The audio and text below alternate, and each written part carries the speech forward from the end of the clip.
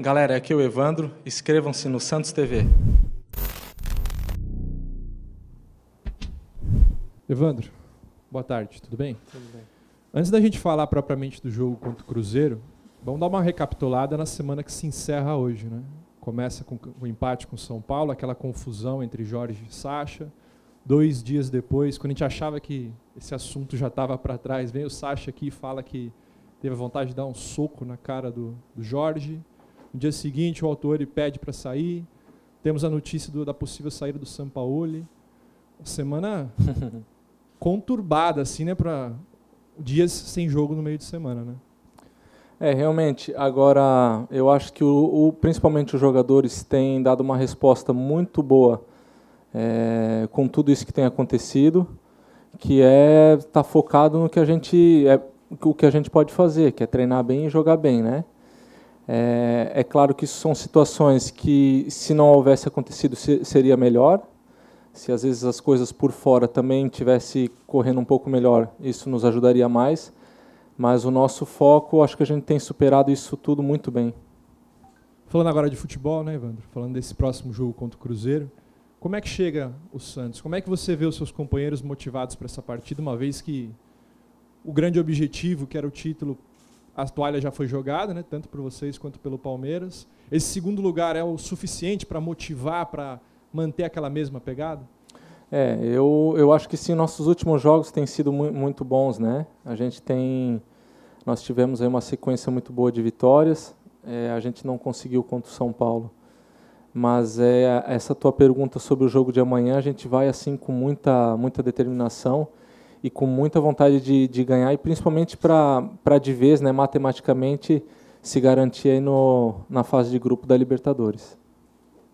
É, falando para a gente como que foi essa semana, né, apesar de toda essa confusão, né, de vários aspectos, essa semana de treinamento para vocês, o que deu para fazer e qual o objetivo de vocês agora até o final do campeonato? Bom, o que a gente fez assim é, é, é muito simples, né? O que a gente, o que o São Paulo sempre faz é, é, a gente sempre estuda muito o que o adversário tem de positivo e de negativo. E para isso a gente tem quase todos os dias antes do treinamento, né, os vídeos para a gente poder analisar bem. Então, assim, a forma de estar tá preparando esse jogo não não é diferente das outras. É, uma vez ou outra muda pela característica do adversário, né? E é como eu falei, a gente está é, é, tão bom, né, poder jogar e trabalhar quando assim os resultados são bons.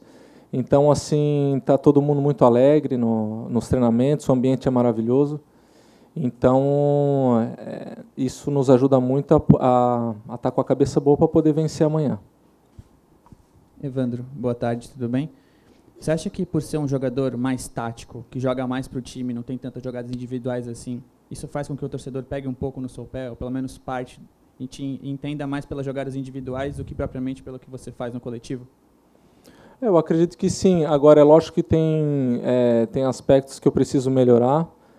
É, eu tenho essa consciência e, inclusive, já até conversei com a comissão técnica. Eu, eu nos clubes que eu passei, nunca fiquei tanto tempo assim sem, sem marcar um gol, né? Então, isso com certeza é uma coisa que também assim me incomoda. E o principal disso tudo é, é eu, eu ter essa consciência, né?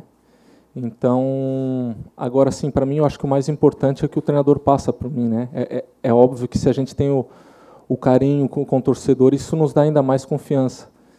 Agora eu tenho que, que continuar fazendo o que eu venho fazendo, porque se eu estou jogando é porque o, o treinador está satisfeito com o que eu tenho feito.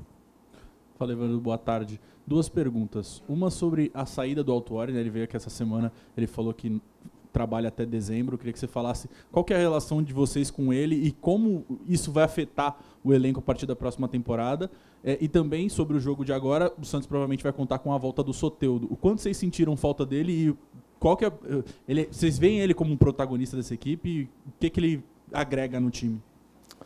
Eu vou te responder a minha opinião, né? É difícil às vezes dizer igual tu me perguntou do, do Autori, o que, que o pessoal está sentindo. Eu tenho pouco contato com o autório, foram poucas as vezes que eu tive uma conversa, mas tudo muito rápido.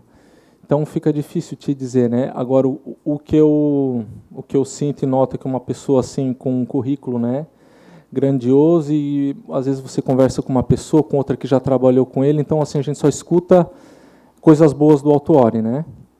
É, a parte do Soteldo, com certeza, ele é um jogador que, que desequilibra, né? Ele já mostrou isso e sempre que ele não está em campo, com certeza ele faz falta. Evandro, boa tarde. É, você mesmo falou agora que sente falta de fazer gols e tal. Eu queria, por favor, uma análise sua da temporada, sua visão sobre o que você tem rendido até aqui. Olha, primeiramente, quando eu cheguei, eu cheguei que isso aqui já o pessoal já estava tudo jogando, né? E eu vim de férias, eu passei por um período aqui de para entrar em forma, foi assim me me custou um pouco. E depois, quando eu consegui, assim, nos meus dois primeiros jogos de titular, eu me machuquei, eu tive a lesão. E depois dessa lesão, é, eu acho que, assim, fisicamente eu não consegui chegar, porque a gente não tem tempo, né, para trabalhar isso. São jogos atrás de jogos. Agora, me surpreendeu muito, porque é, eu, eu não estava aqui desde o início do ano, né? Então, foi tudo muito novo. E eu estou assim realmente muito muito contente por poder já ter jogado tantos jogos, sabe? Era uma coisa que realmente eu não esperava. Então, assim, no, no final eu tenho tenho gostado, satisfeito, exatamente. Evandro, aqui atrás. Em relação à a, a final da Libertadores, no Brasileirão não tem como mais praticamente, né, tirar o título do Flamengo. Mas e amanhã? Vai torcer para o Flamengo? Vai torcer para o River? Olha, eu tenho é, dois grandes amigos lá, né, que a gente jogou junto na seleção, que é o Felipe Luiz e o Rafinha, né?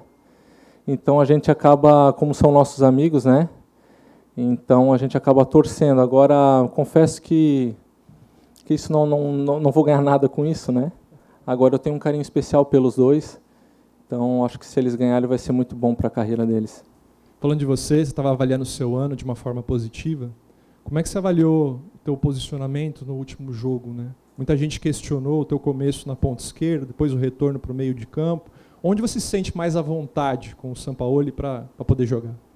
É, ali na ponta esquerda, na verdade, foi no final do jogo, né? Eu não, não sei jogar ali, né? Eu até fico meio perdido. Tanto é que passou alguns minutos e eu fui substituído. A minha posição sempre foi no meio campo.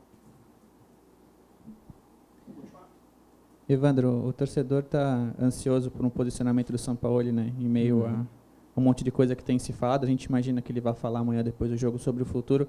Mas para vocês, ele já falou se ele fica ou não para o ano que vem, ou pelo menos deu algum indício ou não de permanência?